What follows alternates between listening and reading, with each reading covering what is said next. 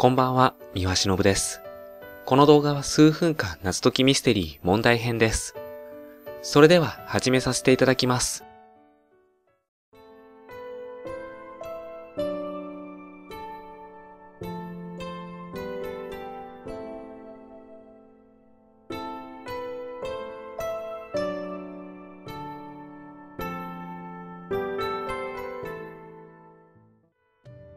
今回の話は漆黒の魔王さんの時を超えて、問題は事件の鍵となるものは何かそれではどうぞ。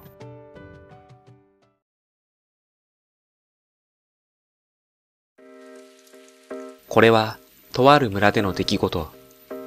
ここは村人たちが皆顔を知っているほどの小さい規模の村だ。そのおかげか仲が良く、和気あいあいとした村で、昔から平和に暮らしてきた。しかし、この村では数十年周期でとある事件が起こる。この村の者はごく稀に細胞の突然変異が生じ、善良な村人が悪事を働くようになるのだ。無論、普段の状態の村では殺人事件は愚か、窃盗、恐喝、詐欺などさらにはいたずらもない、汚れない心を持つ者たちが集まる村だった。そんな平和な村で事件が起こった。村唯一の菓子店を経営していたグランゼが死体となって発見されたのだ。場所はリリー川の上流の岩場だった。第一発見者は木こりのアレン。いつものように森に入ると流血していたグランゼを発見したらしい。この村では警察たる者が組織していなく、周囲の村ともかけ離れた地のため、村人たちはこの知らせを聞いて心底恐怖していた。翌日、村で集会が開かれた。グランゼ以外は全員現れた。皆顔色が優れないようだ。村長のバルは村一番の長寿であるレイを前に呼んだ。レイはこの中で唯一前回の事件を知るものなのだ。レイの話によると、80年前の時は、この村の家を順に焼却していくビリーという男がいたそうだ。幸い、早い段階で取り押さえることができたらしいが、変異前後のビリーは、外見、様子、ともに変わりがなかったらしい。その情報を踏まえ、バルは必ず二人で行動するようにと伝えた。これなら事件が起きた際に犯人が特定できると訴え、村人全員からの納得を得た。そして集会が終わると各自はペアとなり帰路に着いた。次の日また事件が起きた。しかも昼間に。次はあのアレンが自宅で殺されたのだ。アレンは兄のヤーズと共に行動していた。そのヤーズに話を聞くと、どうやら昨日二人で酒を飲んだ後、いつの間にか昼となり、血まみれのアレンを発見したそうだ。その後、ヤーズは恐怖し、村を出て行った。ここぞとばかりに、バルは村人全員に話を聞いた。不審な行動をした人は知りませんか？と。すると、二人組のみのペアが、相手の動きを確認できなかったという。どうやら寝ていたらしい。このことによって村では容疑者を4人に絞ったのだった。村は容疑者が現れたことにより、ある一定の安堵があった。かつての落ち着きを取り戻したようにも思えた。しかし、そうはいかない。翌日、その4人が揃って首を吊ったからだ。いや、正しくは、首を吊られたようだった。これにより、村ではすでに6人もの死者が出た。この過去最大の事件に村人は頭を悩ませた。あのレイでさえも。この頃からか村人はよく教会に向かうようになった。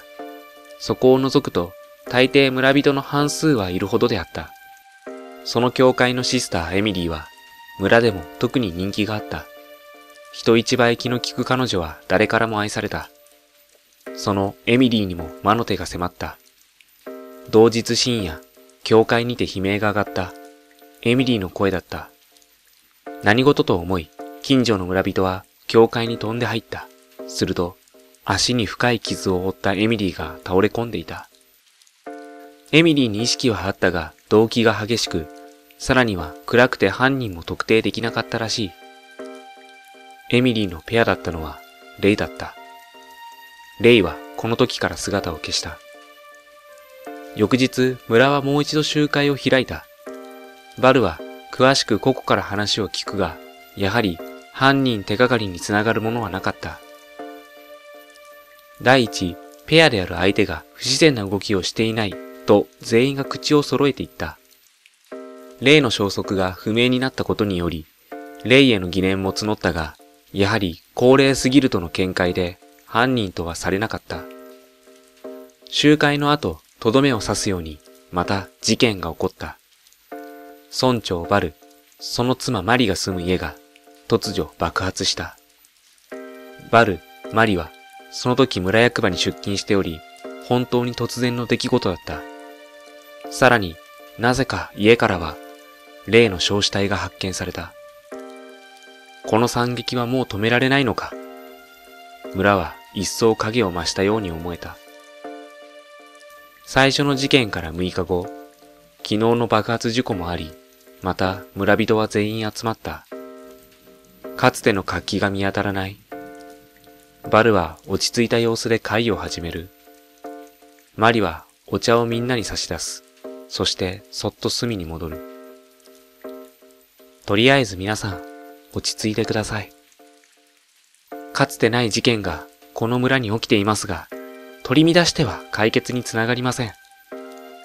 この村長も人望が厚く慕われていた。村人は村長の話により少し落ち着いたのか、各自軽く雑談をしている様子もあった。ある程度村人同士の会話も進み、賑わってきた。これなら犯人も捕まえられそうなくらい、団結している感じがする。